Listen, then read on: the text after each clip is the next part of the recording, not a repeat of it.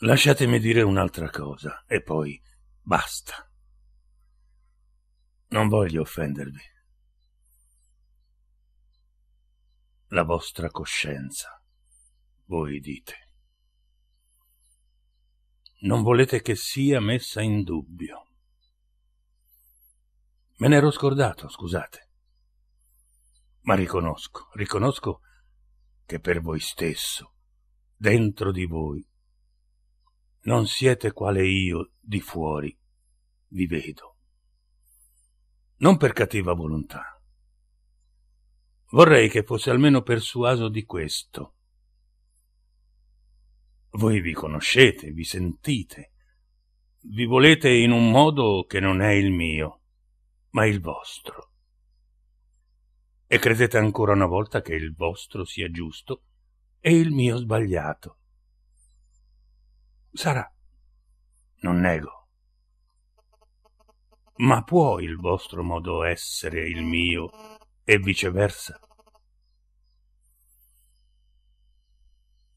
Ecco che torniamo da capo. Io posso credere a tutto ciò che voi mi dite, ci credo. Vi offro una sedia. Sedete e vediamo di metterci d'accordo. Dopo una buona oretta di conversazione ci siamo intesi perfettamente. Domani mi venite con le mani in faccia gridando Ma come? Che avete inteso? Non mi avevate detto così e così. Così e così, perfettamente. Ma il guaio è che voi, caro, non saprete mai né io vi potrò mai comunicare come si traduca in me quello che voi mi dite. Non avete parlato turco, no? Abbiamo usato io e voi la stessa lingua, le stesse parole. Ma che colpa abbiamo io e voi se le parole per sé sono vuote? Vuote, caro mio e voi le riempite del senso vostro nel dirmele. E io nell'accoglierle, inevitabilmente, le riempio del senso mio. Abbiamo creduto di intenderci, non ci siamo intesi affatto. Eh, storia vecchia anche questa, si sa. E io non pretendo di dir niente di nuovo. Solo torno a domandarvi. Ma perché allora, santo Dio, seguitate a fare come se non si sapesse?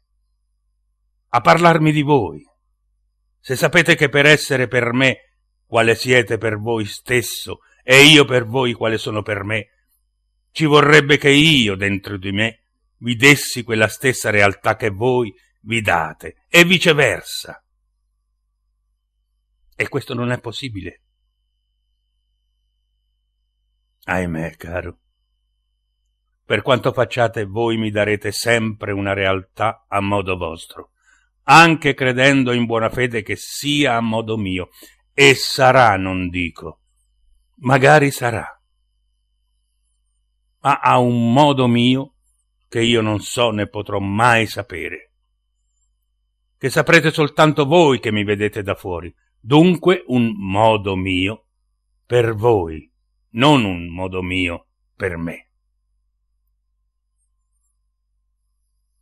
Ci fosse fuori di noi, per voi e per me, ci fosse una signora realtà mia e una signora realtà vostra, dico per se stesse, e uguali, immutabili. Non c'è. C'è in me e per me una realtà mia, quella che io mi do. Una realtà vostra in voi e per voi, quella che voi vi date, le quali non saranno mai le stesse né per voi e né per me. E allora?